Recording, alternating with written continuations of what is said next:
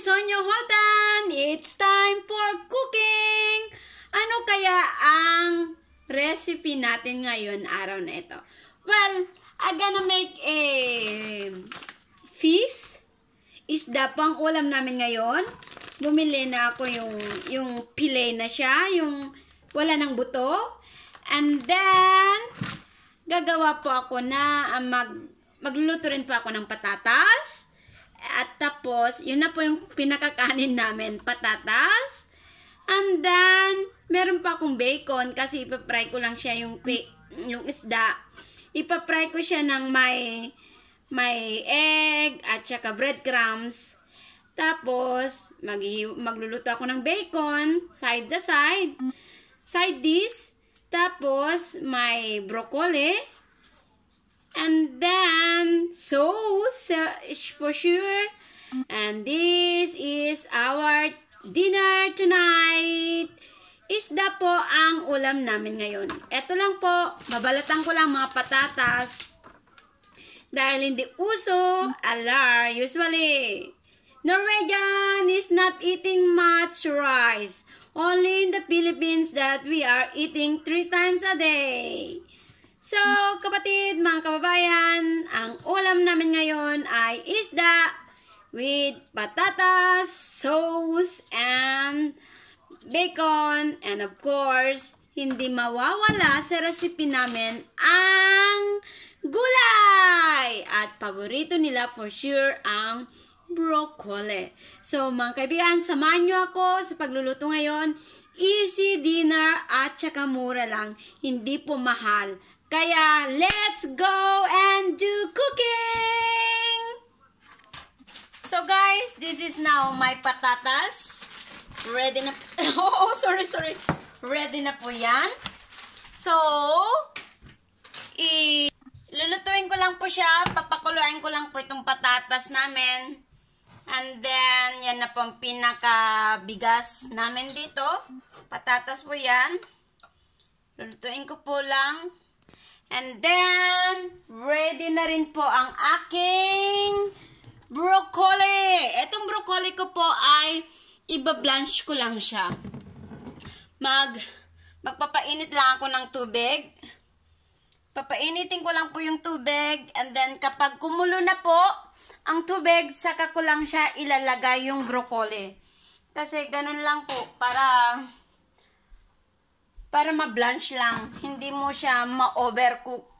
Ganun po ang technique. Kapag kumulo na po yung tubig, di ba? Kumulo na yung tubig, lalagay mo na yung broccoli, and then, pakuluin mo saglit, after a few minutes only, and then off, tapos, ilalagay mo siya sa, sa, sa tubig na malamig. Kapag sa Pilipinas, lalagyan mo siya ng ice, yung tubig, o tapos ilalagay mo yung broccoli para hindi po siya ma-overcook or mukhang fresh na fresh pa rin po ang broccoli. So guys, yan na, nakaredy na po ang patatas ko kasi ang patatas is take, it's take 20 minutes bago yan maluto. Tapos, yung broccoli ko rin, maluluto na rin. And then, ang gagawin ko na lang po ay ang isda. Kailangan ko munang lagyan ng isda. Eh, lagyan ko ng, ng, ano ba yun? Ingredients. Ang isda. So guys, ito na po yung isda ko. Uh, kung na siya, ano yan, defrost na siya kasi binili ko talaga siya ng frozen. Dahil kanina, nagbisikleta kami ng mga anak ko, pumunta kami sa sa um, sa boutique or the the shopping mall para po bumili ng ulam namin ngayong gabi. So, lalagyan ko lang siya ng asin. Simple lang po. Simple lang ang rekado. Mura lang, pero masarap. Lalagyan ko lang po siya ng asin. And then, paminta. Yung tawag doon. Durog na paminta po. At saka, dahil hindi uso sa amin ang, ano tawag, ginasa mix, lalagyan ko siya ng gastromat. La, para magkaroon po ng lasa. Kasi, hindi rin po kami gumagamit ng betchin dito. So, may gastromat yan, asin, um, tawag doon, paminta, at saka gastromat. Yan lang po. Imamarinate ko lang siya sa saglit. And then, ipiprito ko na po siya later.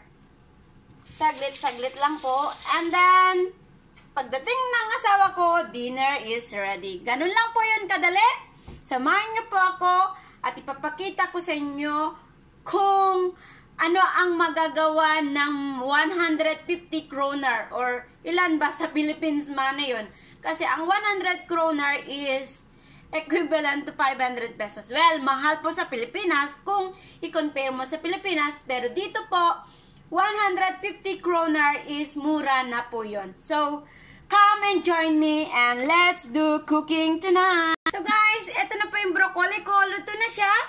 Luto na po siya pero mukhang fresh na fresh pa rin. Green na green po.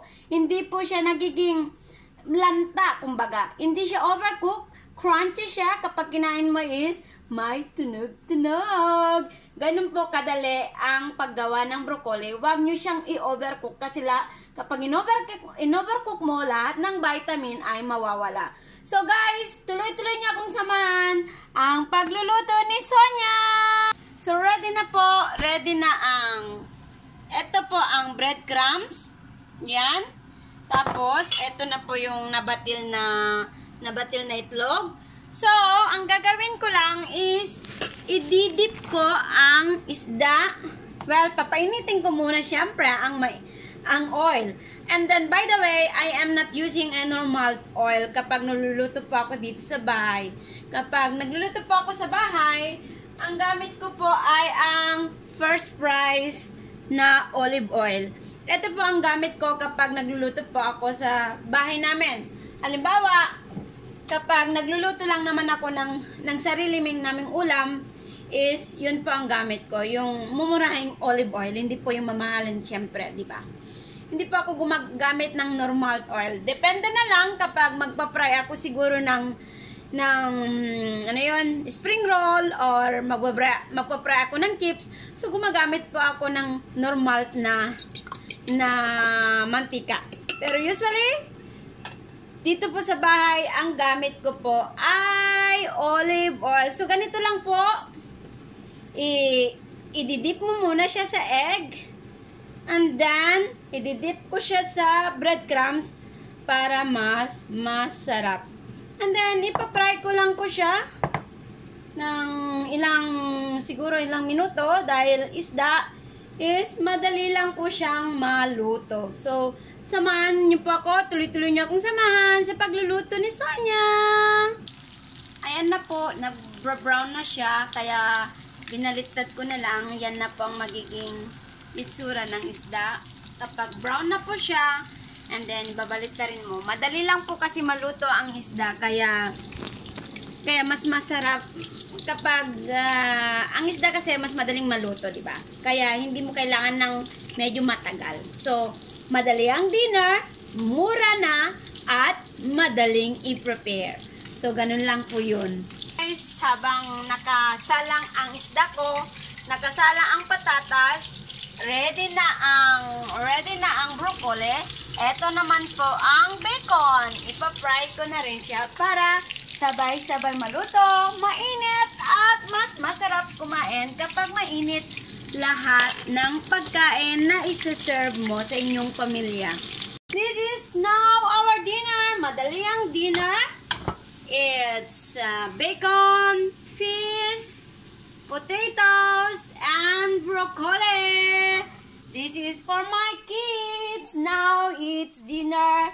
We'll serve for them. So, this is it. Pansit. That is look like, di ba? Ang ganda-ganda. Mura na, madali pa. Murang dinner, madaling gawin. Ang dinner ni Sonia today. It's meron ka ng green, may fish ka na, may, may meat ka pa, at saka may patatas. So, ang kulang na lang is ang so, so happy family, happy tummy. So, welcome to Sonia's Kitchen! Mabuhay po tayong lahat hanggang sa muli. Ito po si Sonia Holden. Please help me and subscribe to my channel. Have a nice weekend, everyone! Mabuhay po tayong lahat! Salamat!